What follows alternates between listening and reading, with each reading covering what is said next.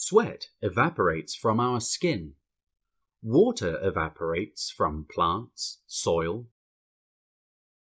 rivers, lakes and oceans. The water evaporates to form water vapor. The water vapor rises up into the sky, cools down and condenses to form water droplets. It starts raining. The water droplets in the clouds then fall to the ground as rain. Rainwater goes back to the soil, rivers, lakes and oceans. This continuous movement of water from the Earth's surface into the air and back again forms the water cycle.